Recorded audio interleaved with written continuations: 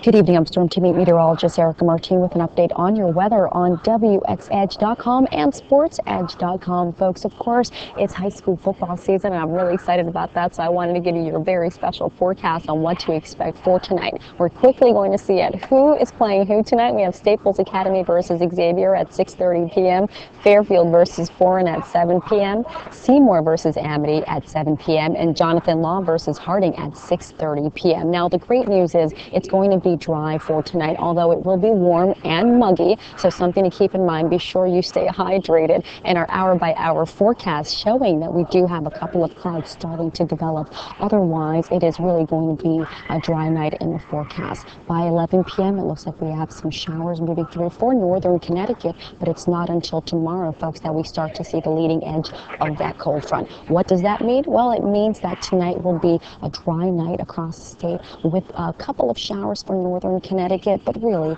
a dry night. However, a warm one nonetheless. The extended eight day forecast cooler by the weekend, and we can see some low 50s out there and some 40s along the inland area, of course, due to fewer clouds. But I got to tell you, you guys have a great time. Good luck to everybody, and we will have your updates uh, at 10 and at 11. We'll also have your forecast for tomorrow, and we're going to have all the scores. Noah will have that for you tonight. Have a good one and good luck.